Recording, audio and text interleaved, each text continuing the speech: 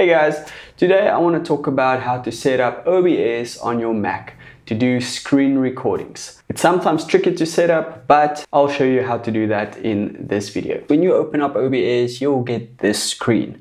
Now, this is your display window, and this actually shows you what you are currently recording or what you are going to record. And at the moment, this is black. So the way to set up screen recording on your OBS system is you need to add a source. And the way to do that, you click the plus button over here and you select display capture. Now you can rename that to whatever you want. I'll just keep it standard, display capture and press OK.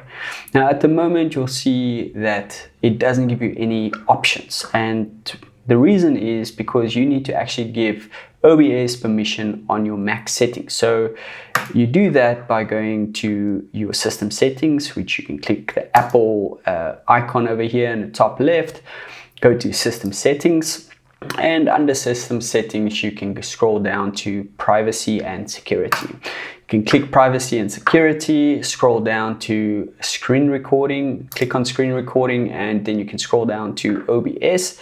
Under OBS, you can just give OBS permission to record your screen. You can type in your password and once you do that, you can just quit and reopen OBS and then you should be able to see the screen.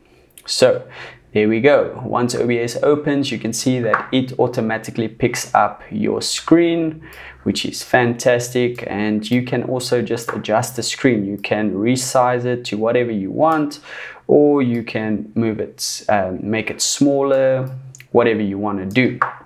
So you can adjust some of the settings. I've got two displays at the moment and I actually don't want to capture the display that we're currently on. So what I'll do is I'll just select my other display and voila, there you can see we have the other display. And so you can just press OK and happy with that. So at the moment you can see that the screen is a little bit off and sometimes it's not ideally what we want. So if we do want it all in one screen without having to drag everything, you can just right click and resize output. And this will just put everything into one screen. Like you can see now, we've got the whole screen. It's no longer cropped off. And there you go. I hope that this video helped you. See you in the next video. Cheers.